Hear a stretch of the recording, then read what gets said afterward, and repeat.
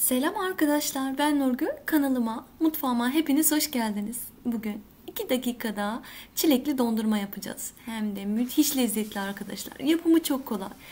Eğer meyveleriniz varsa hemen buzluğa atın arkadaşlar. Buzluğa attıktan sonra sonucunu siz de inanamayacaksınız.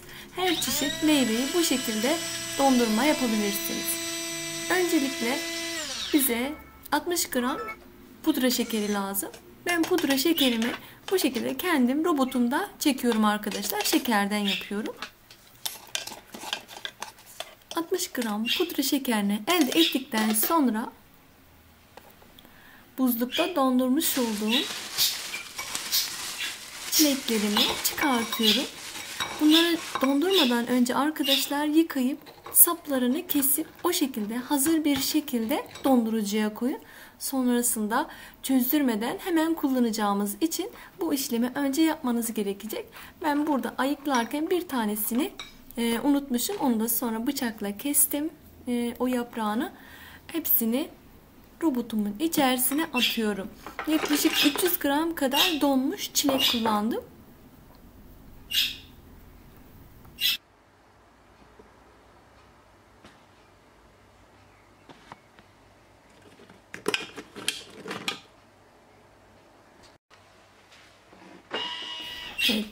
Çilek ve pudra şekerini robotumda kısa bir süre çekiyorum. Gördüğünüz gibi benim robotumda arkadaşlar 10 saniyede bu hale geldi.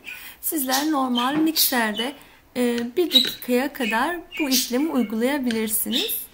Benim robotum biraz daha güçlü olduğu için 10 saniye yeterli geldi. Gördüğünüz gibi şahane püre oldu. Şimdi 100 gram da krema kullanacağım. Krema yerine süt de kullanabilirsiniz. Yaklaşık bir çay bardağına kadar.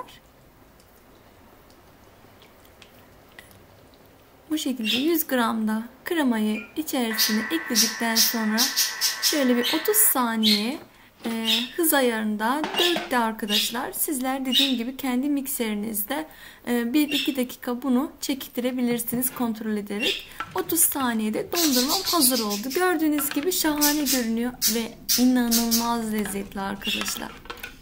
Müthiş. Yapımı çok kolay. E, lezzeti şahane Sizler de evinizde dondurma yapabilirsiniz. Bu şekilde meyveli her çeşit dondurma yapabilirsiniz. Frambuazlı dondurma yapabilirsiniz. Muzlu dondurma yapabilirsiniz arkadaşlar. Orman meyveli dondurmalar. Çeşit çeşit dondurmalar elde edebilirsiniz bu şekilde. Ve meyveleri de bu şekilde değerlendirmiş olursunuz. Ayrıca meyve yemeyen çocuklara da bu şekilde e, meyveyi sevdirmiş ve yedirmiş olacaksınız. Evet dondurmamız hemen servise hazırdır. Çok bekletmeyelim. Zaten e, donmuş e, meyveden yaptığımız için e, kısa bir sürede yumuşamaya başlayacaktır arkadaşlar. 15 dakika içerisinde hemen servis yapıp tüketmeniz gerekecektir.